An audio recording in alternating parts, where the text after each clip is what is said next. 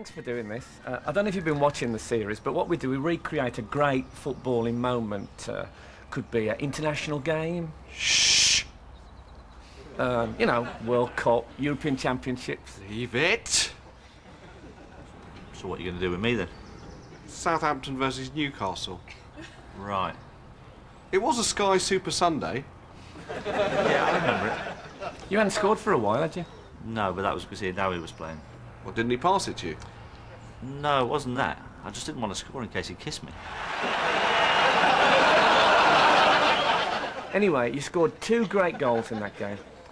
Yeah, the first one, um, ball got played down the left wing. Ian Dowie flicked the ball inside, so I had to flick it back up over my own head with my left foot.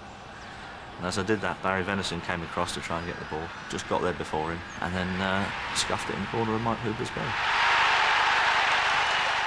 Anyway, let's do the goal. All right then. Frank, you be Barry Venison. I'll be Mike Hooper, the Newcastle keeper. And you, you be Matthew Le Tissier. Play Martin Tyler.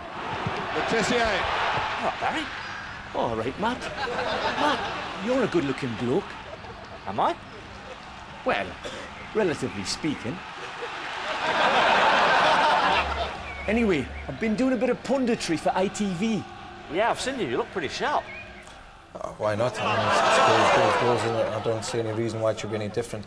Well, now ITV have offered me on the ball, but I've got to change my whole image. How about a sort of specky supply teacher look? The back four had it with the, the old English connection. Tony Adams, the famous back five, if you like.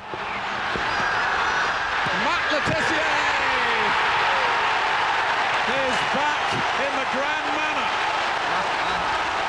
What a goal.